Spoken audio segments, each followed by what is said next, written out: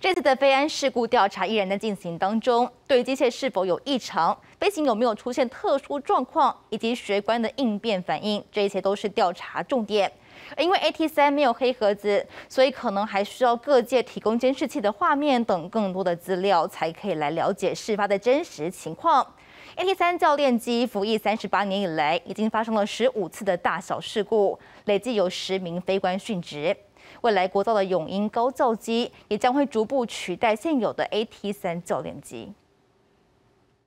它是第二次的航线单飞，它单飞起飞之后，并还没有做第一次的这个触地重飞。啊，就在机场东北的地方失联。第二次单独飞行 A D 三教练机，空军官校学官徐大军失事殉职。曾担任过空军官校校长的前空军副司令张延廷分析，机械状况以及学官如何应变，将是未来可能调查重点。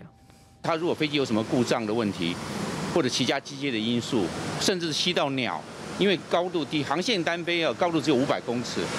那我们可以看一零一大楼那么的低。那那处置时间是相对非常的紧促，那在这种状况之下。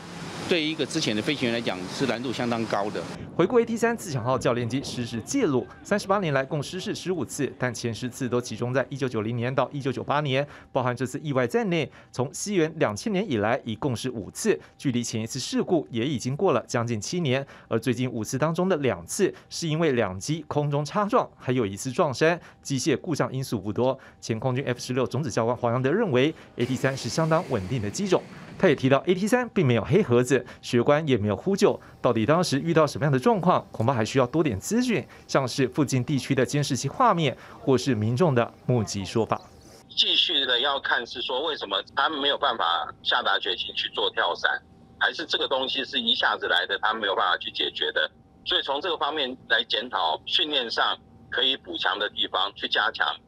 未来永鹰高教机将取代现有 AT 三教练机与 F 五战机，作为战斗组学官完成 T 三十教练机训练后的后续训练机种。由于永鹰可以说是初阶版的 IDF，外界担心是否会让学官压力过大。黄德认为，只要学好各项科目训练，遵守飞行纪律与要求，就能安全操控战机，并逐步学会各项飞行技能。记者张志雄、庄志成、曹彦俊、陈博玉台北报道。